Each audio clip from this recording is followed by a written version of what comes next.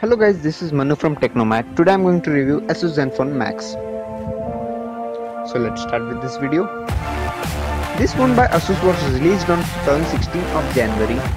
It weighs around 202 gram and has a dual micro SIM support. It has an IPS LCD display and a 5.5 inch screen. The resolution is 720 x 1280 pixels. It supports multi-touch it comes with the Android version of 5.0.1 Lollipop.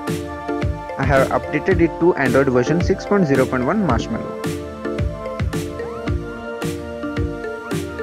It comes with a Corning Gorilla Glass 4 protection and a Zen UI. I'm using a Google Launcher in it.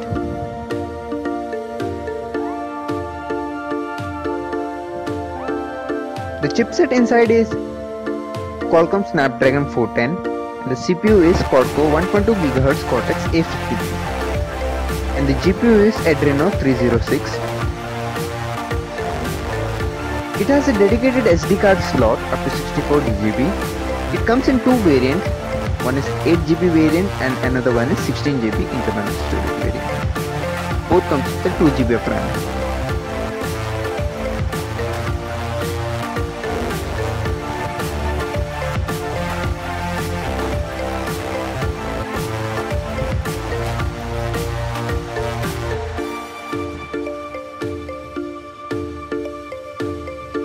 Change the font size.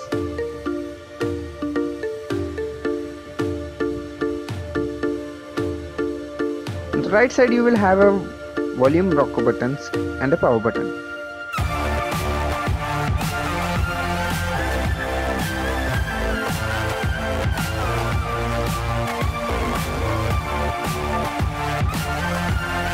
It has a primary 13 megapixel laser autofocus camera with dual LED flash and 5 megapixel front camera. Let me show you some images this phone.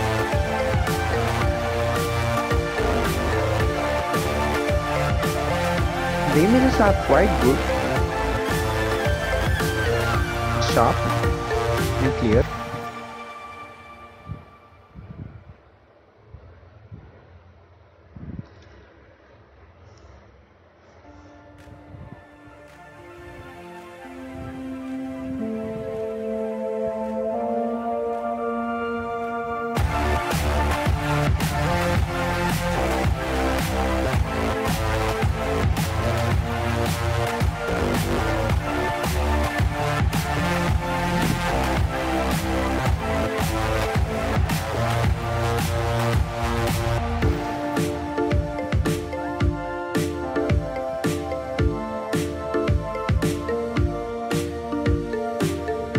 Another function in it is if you tap the status bar, it will turn off the device. And if you want to wake up the device, just tap on the screen.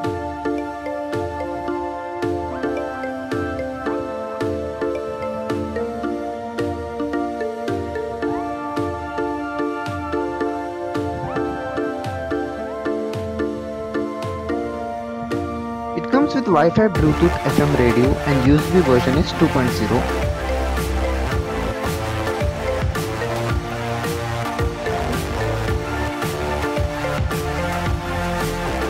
It has a non-removable life volume of 5000 mAh battery which lasts up to 2 days with full charge.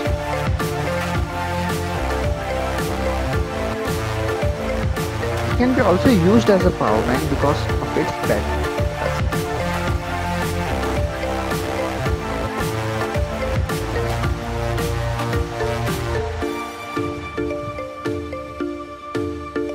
You can buy this device from Amazon or Flipkart at a price of 9500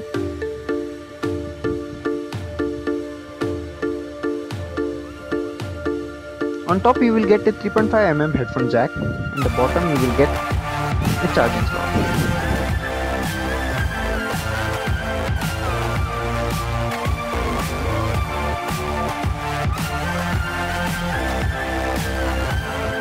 So this was the review of Asus Zenfone Max Hope you guys will like this video.